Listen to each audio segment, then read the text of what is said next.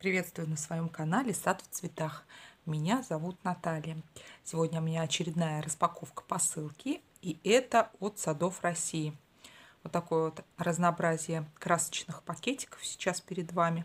Сразу хочу сказать, что заказ не только мой. Здесь часть семян моих, а часть просила меня заказать моя соседка, тоже любительница очень огорода и очень хорошая цветочница.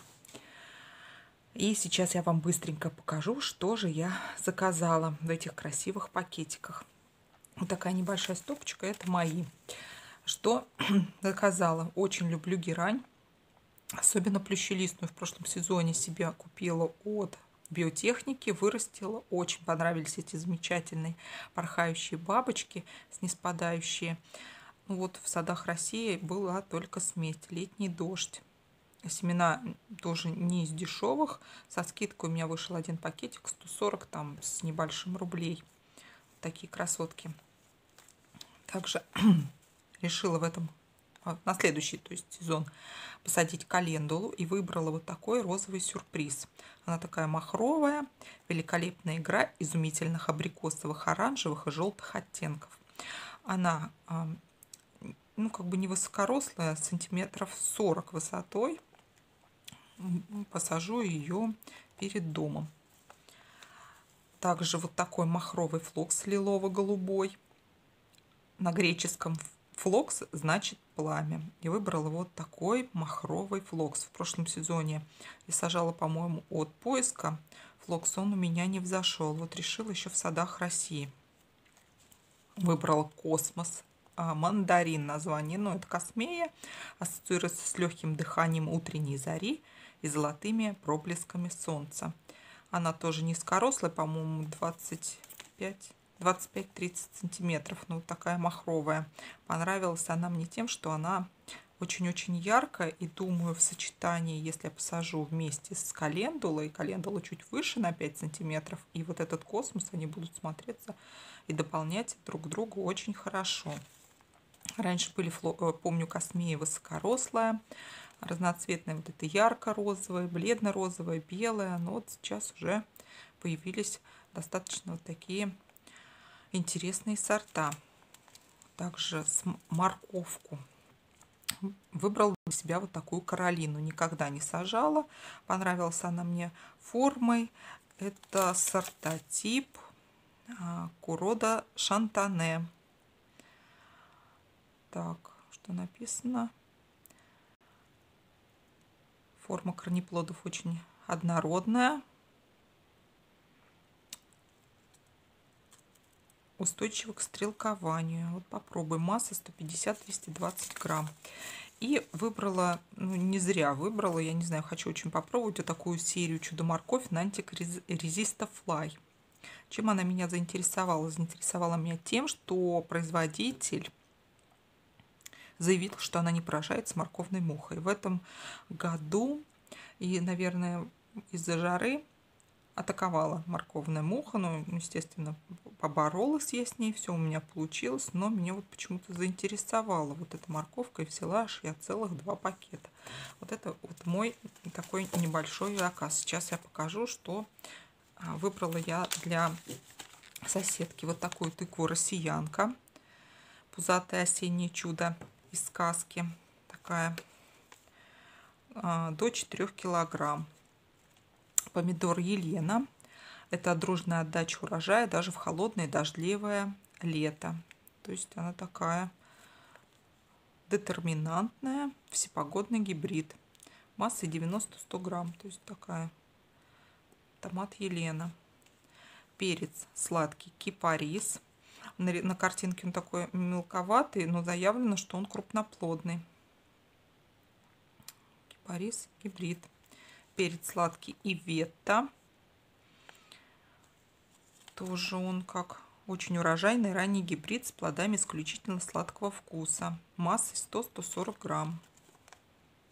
Ну, всеми любимый кабачок Кавили. Выбрала такие вот морковки корона. Превосходно высокоурожайный гибрид, обладающий высокими вкусовыми качествами и устойчивостью к растрескиванию. Корнеплод идеальной цилиндрической формы с тупым кончиком. Сортотип Нанская. Длиной 7-20 сантиметров. А, так, идеален для приготовления свежевыжатых соков и детского питания. Ну, то есть я так понимаю, что это морковь ну, не для хранения. Два пакетика. Морковка Мадонна средний ранний гибрид из уральской селекции моркови. Корнеплод конической формы с тупым концом. Длина около 15 сантиметров. Сердцевины практически нет. Мякоть ярко-оранжевая, очень вкусная, универсального назначения. Содержание каротина очень высокое. Вот такая морковка Мадонна.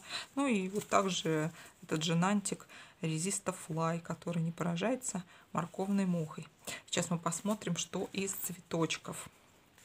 Из цветов вот такая статица, Тихий океан, яркий набор в этом сезоне я сажала. Очень понравилось, но, правда, я не сеяла семенами, мне дала моя соседка уже рассаду. Понравилось, очень хороший.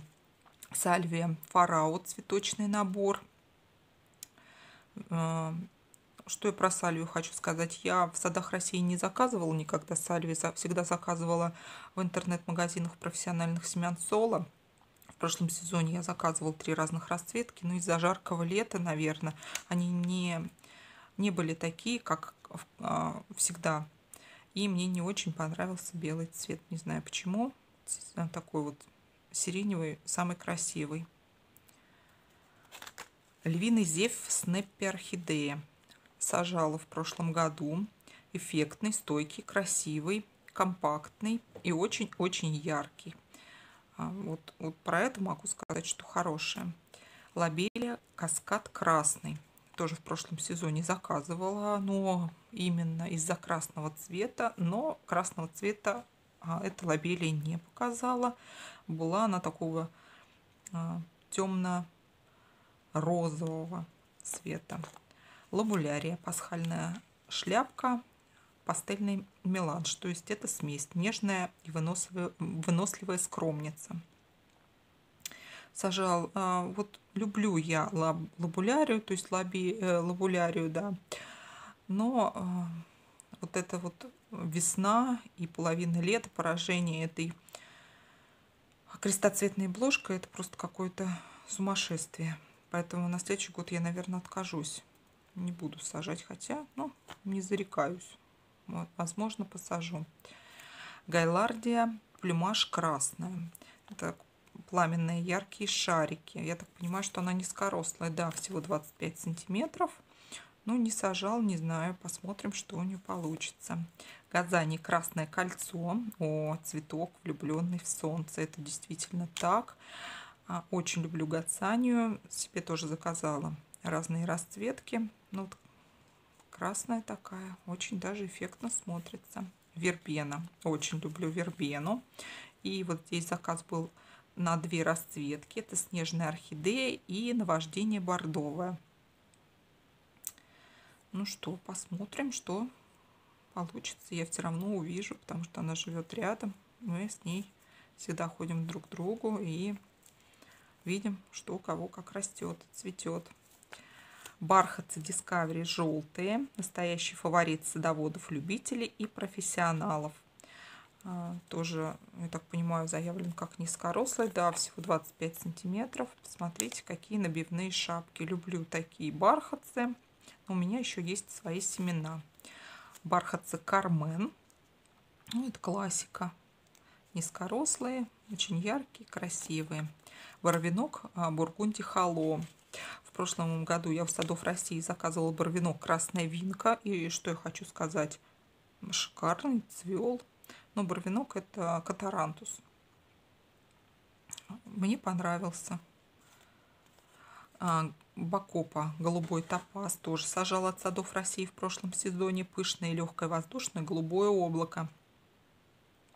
Понравилась, цвела, в принципе, она неплохо, но из-за того, что был очень жаркий год, она не любит э, засухи. Ее нужно поливать, поливать. Она такой водохлеб.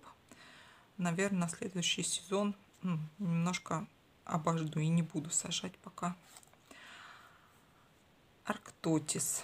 Набор Орликин. Веселый летний переполох. Ну, красивые цветочки, что сказать. Мне напоминают герберу.